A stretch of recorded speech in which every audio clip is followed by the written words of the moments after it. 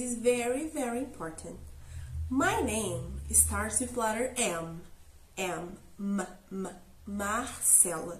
So I need to draw an animal, an egg layer, with letter M. For example, I have here many animals.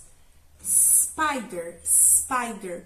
If your name starts with letter S, look, letter S. Like Sophia, you can draw a spider. Mm, letter F. Look, if your name starts with letter F, you can draw a frog. A frog.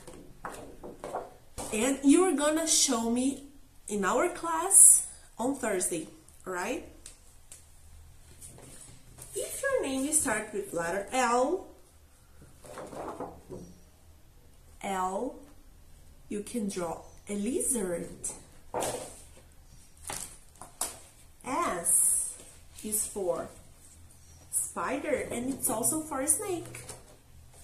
If your name starts with letter T, you can draw a turtle, turtle. Letter D, dinosaur. Letter C, ch chicken. Or crocodile. If your name starts with letter P, you can draw a platypus.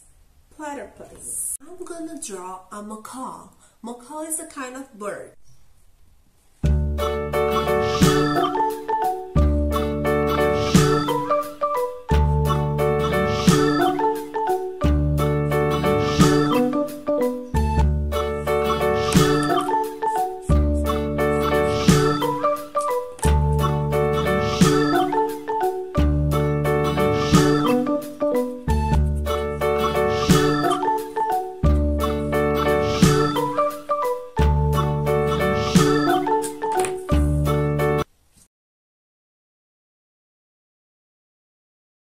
Try because I'm not very good at drawing, but there's no problem. It's your drawing.